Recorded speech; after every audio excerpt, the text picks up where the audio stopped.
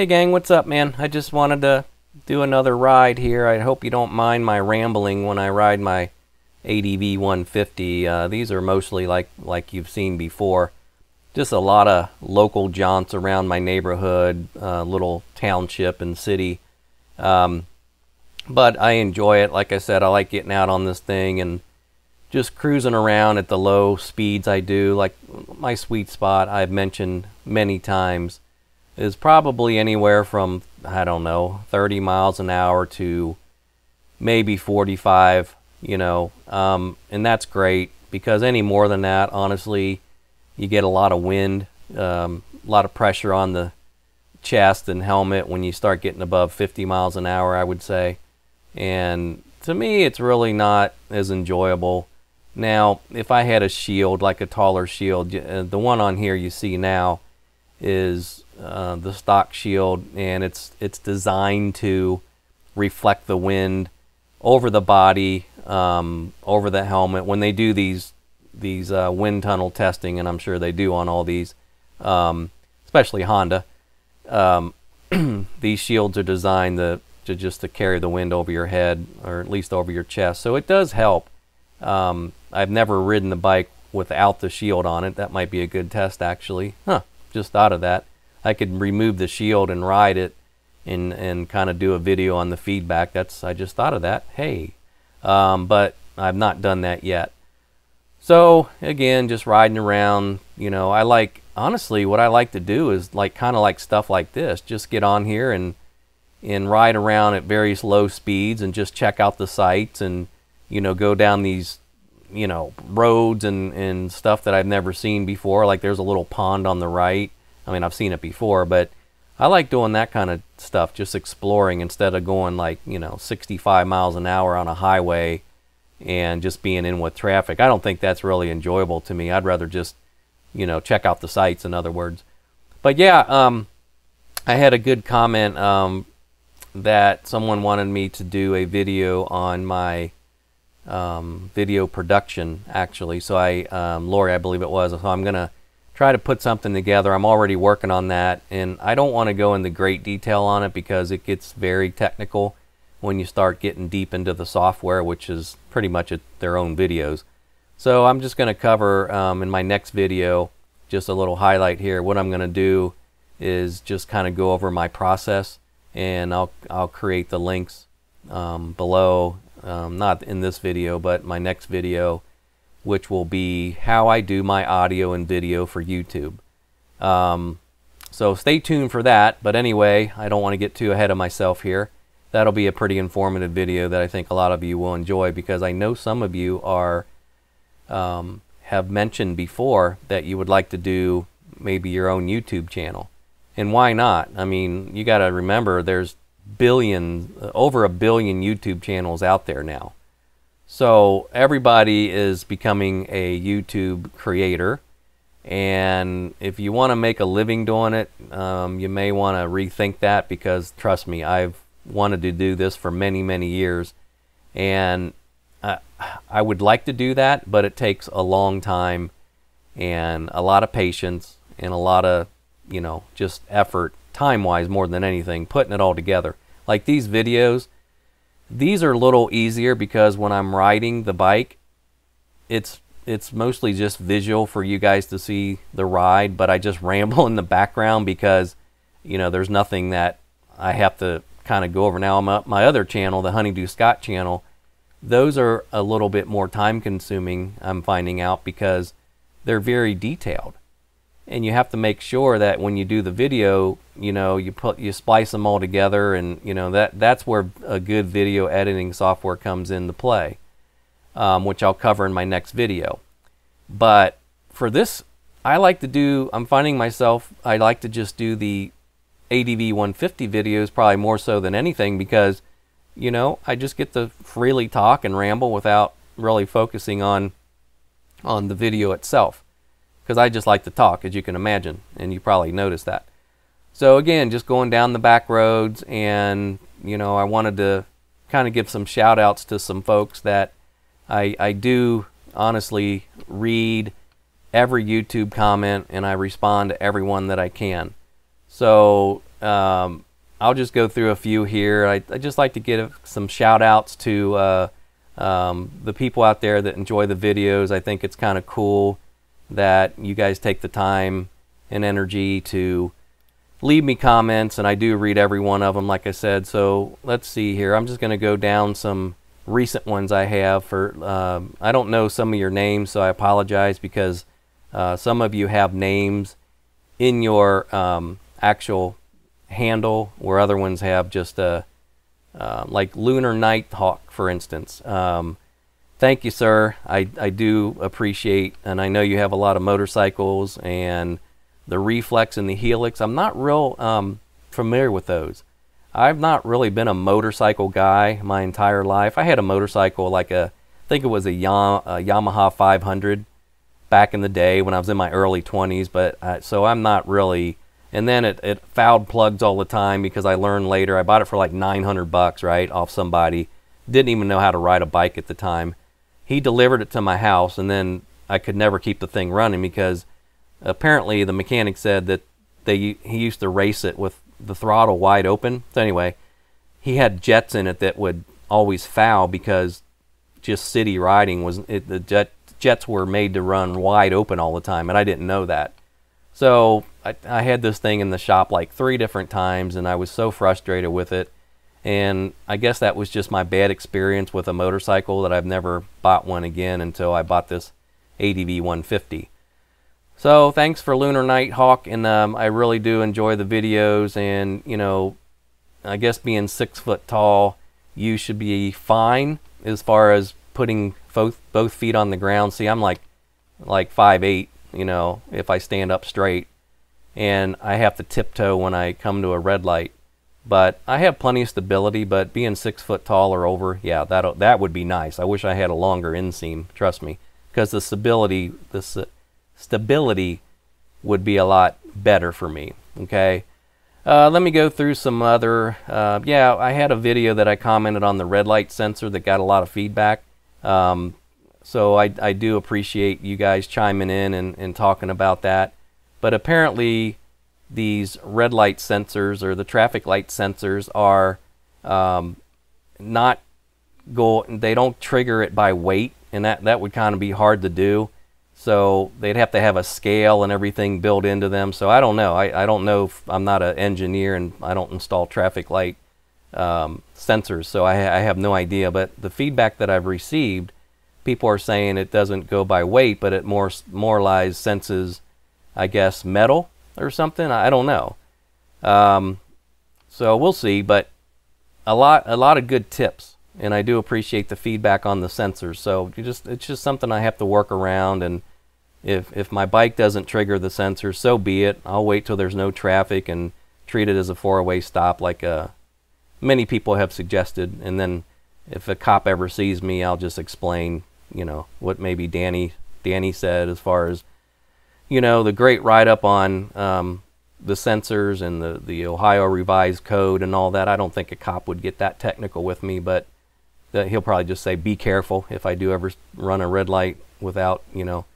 Um, but I'm sensible. I'm not going to do it. So thanks, Danny, for all the feedback on that.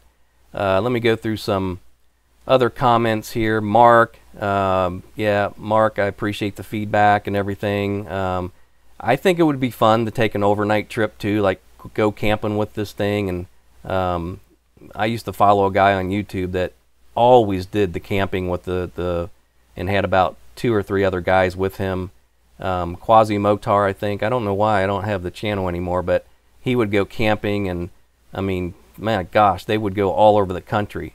So that would be really cool, like just to take the scooters out and go camping and, and things like that. But anyway, thanks guys again for the uh, comments. I do read all of them, like I said. And what I'll do here is kind of shut up for a minute and let you guys enjoy the ride. But I'll be back shortly, okay?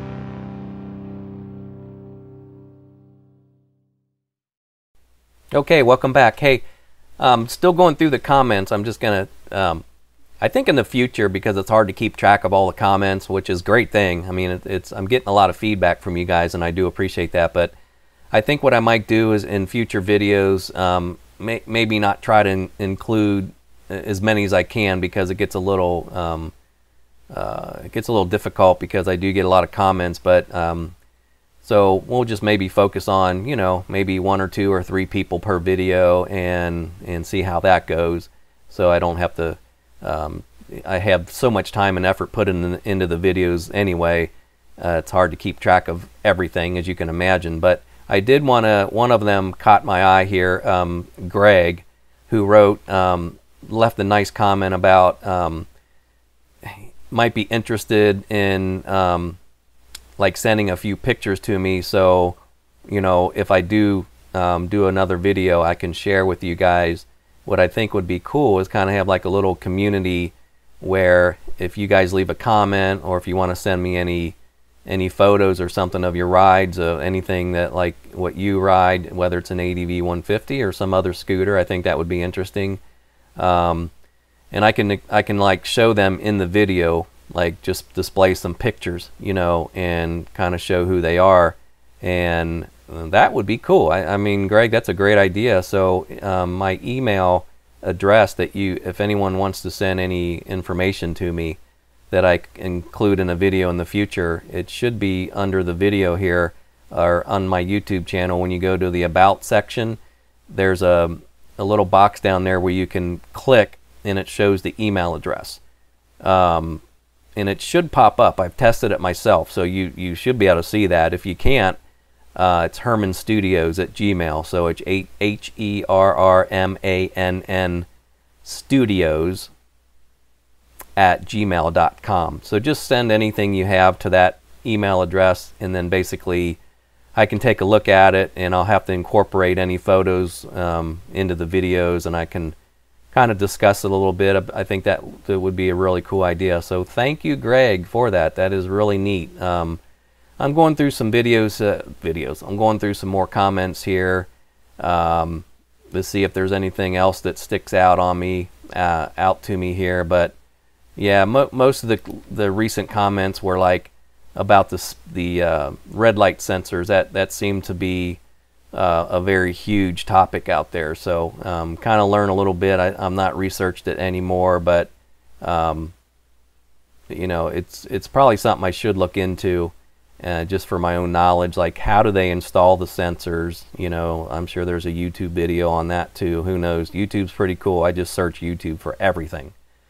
So with that said, um, I had another comment that something somebody said that I didn't mention how tall I am, but I, have mentioned it in numerous videos. So, but I understand you guys can't read or you can't um, watch, I should say, every video that I put out there. But again, for those who are interested, I I'm, I'm about five seven between five eight, depending on how straight I stand up and arch my back. So yeah, I'm a I'm a shorter guy. Um, I used to be like 5'10 in high school, but you know, you get older and you shrink, and I used to do a lot of bodybuilding and weightlifting, and I think it compressed my spine. Who knows? It's just weird. I I've lost literally like probably two or three inches on my height. but anyway, so yeah, I'm about five. I'd say five seven to be safe. And like I said, when I come to a stop on this scooter or motorbike, I call it, I have to. I, I pretty much use both feet and my toes, like the tops of my shoes, are touching the pavement, so I can't put them like completely flat on the ground. But I have enough stability where it's not a big deal. Like I said, it, it's just fine. But anyway, I think anyone with a, I think my inseam's like 29 inches if I buy jeans or something. I have to buy a 29, and I won't mention the waist, but my inseam's about 29 inches. So um, if I buy a, I can get away with 30 you know. But if I start getting over 30 inches, like 32, then yeah, I'm, I'm you know, I'm walking on my my jeans. So there's that. So anyway, uh, again, it, it's pretty cool. I like receiving all the comments, and I'm just going through some older ones now to see um, what other people comment on. But uh, for the most part, oh, the engine oil. yeah, the engine oil is is I just stick with the Honda brand. I mean, it if you want to start talking engine oil, uh, you're gonna talk you're you're gonna drive yourself crazy because there's so much debate on what type of oil to use in vehicles. I don't know. You know, I just stick with the Honda oil because I know it's engineered for specific reasons, and as long as you get a good four cycle uh, engine oil that is basically meant for these type of engines and you change it on a regular basis, you're not going to go wrong. What happens it's the people that run in the problem is when you when you put oil in the thing and you run it 10,000 miles and you never pay attention to it. Yeah, then I'm sure engine oil does make kind of a difference. But if you're just changing oil on a like I'm going to change it like probably every season. You know, I'm not going to worry about the mileage and, and since I ride my bike eh, very you know sparingly, I I don't put a lot of miles on this thing. I only I don't even have a thousand miles on this thing yet. So time is going to be the more contributing factor for me than anything. So if I change my oil like every spring, you know, it's probably overkill. If I even did that, I could probably go two springs and do it.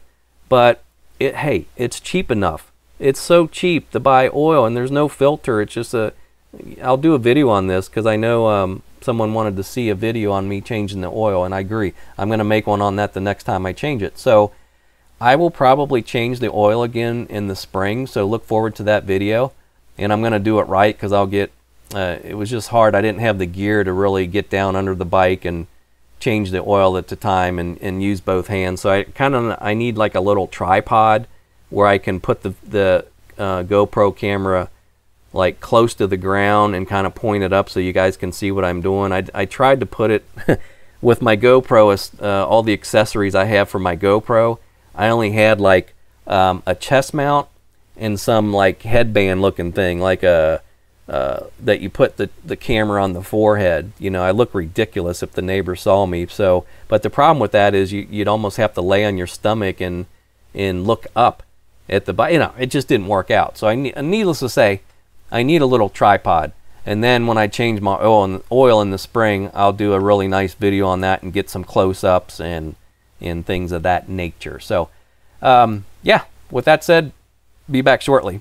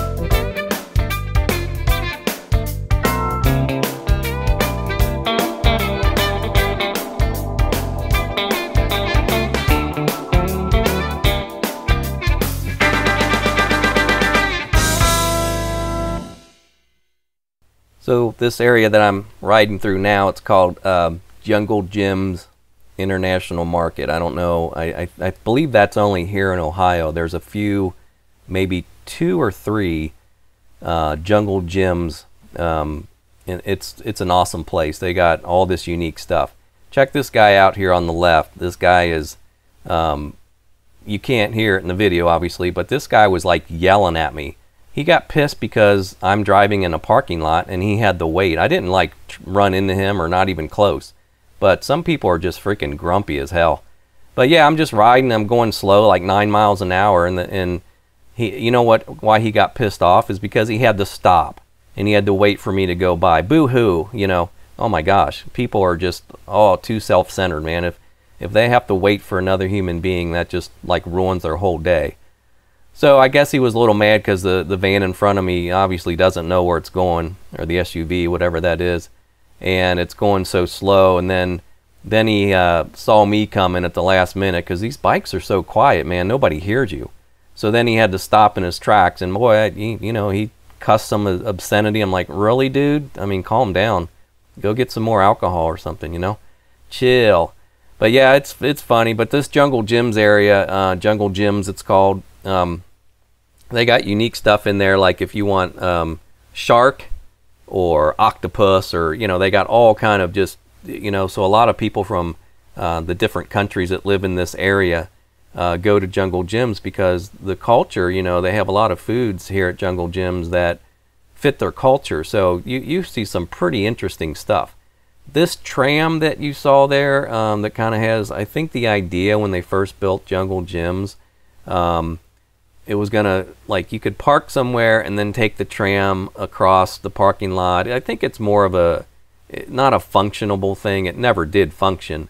But I don't know if the guy ever had you know, the idea to, to make it functionable one day, but it's just been more of a visual appeal. Who knows? I think it actually worked or did work at one time, but it never, uh, uh, really never amounted to anything. So I guess because of safety concerns and other things that the guy just, whoever created this, Jim something, I don't know his last name, but I believe that it never was a functioning thing, but it looks cool. So anyway, back to the video. Um, yeah, I'm not going to uh, carry on too much longer here. I know these videos can get uh, quite long, so this one's already been over 30 minutes. So again, keep the comments coming. I'll try to include um, some highlights on the comments that I get. Um, again, the ideas that you guys are giving me is awesome. I do like the idea that Lori gave about the um, kind of doing a video on my audio video process. So that it kind of makes me um, believe that there's a quite a few people out there that are interested in doing their own channel. And you know, I can tell you right now, it does take some work.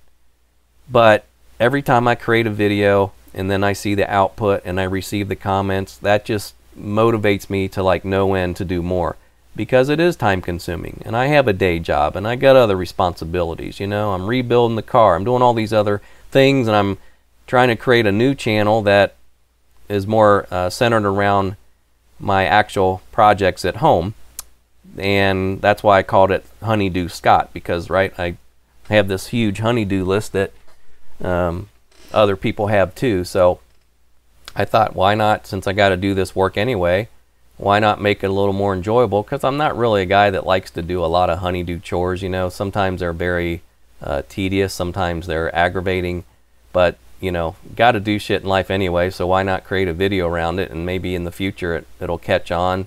I don't know. I just like, I, I think I, I like using computers and the technology probably more so than anything else because I'm always been around computers and I used to be a graphics designer, so I, I have a little bit of knowledge about um, certain things, but I'm not an expert in anything, if that makes sense. But anyway, I'll cut this short. Um, and I do want to thank you guys for time, chiming in and keep them coming. And we'll catch you another time and look forward to my next video, which will be about my YouTube process. It'll be kind of interesting. Thanks, guys.